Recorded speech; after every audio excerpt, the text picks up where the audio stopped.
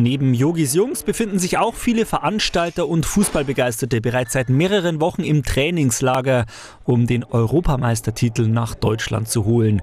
Als zwölfter Mann werden wieder tausende Fans vor den Bildschirmen mitfiebern. Eines der größten Public Viewings in der Region findet in der Messehalle in Straubing statt. Bis zu 2500 Sitzplätze werden hier aufgebaut.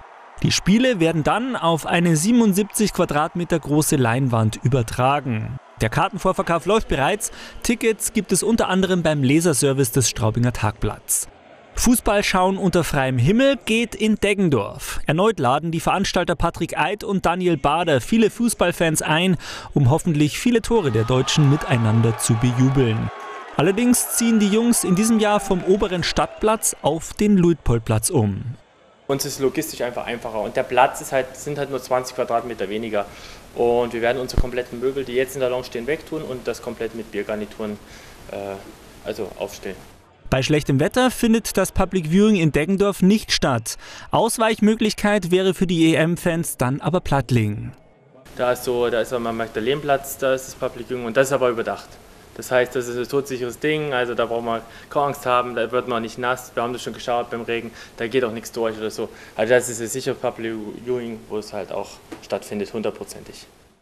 Die etwas andere EM-Party schmeißen wir von Donau TV zusammen mit der Karmelitenbrauerei Straubing. Bis zum 9. Juni konnten sich die fußballverrücktesten Fans bei uns mit Foto oder Video bewerben, um jede Menge Freibier zu gewinnen.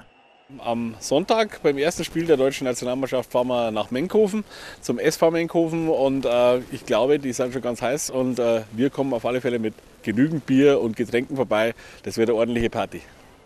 Doch wie ist die Stimmung eigentlich so kurz vor dem Eröffnungsspiel? Vorfreude oder doch eher ein mulmiges Gefühl aufgrund der Terroranschläge?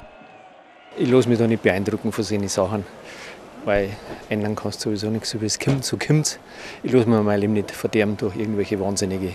Nein, Anschlag habe ich jetzt keine Angst damit. Nein, ja. Wir freuen uns schon. Ich bin natürlich sehr, sehr heiß. Also ich habe natürlich schon das Trikot rausgeholt. Das liegt schon bei mir ähm, im oder vor dem Schrank besser gesagt. Ich habe es nämlich schon angeschaut, ob es noch passt.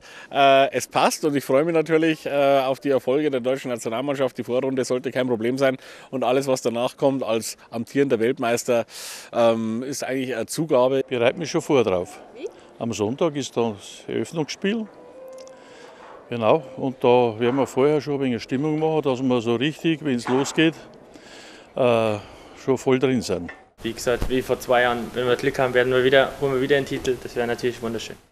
Egal ob beim Grillen zu Hause mit Freunden oder auf einer der großen Public Viewing Partys. Sollte am Ende der Pokal rausspringen, dann dürfte die Stimmung in Deutschland, ähnlich wie vor zwei Jahren, wieder kaum zu toppen sein.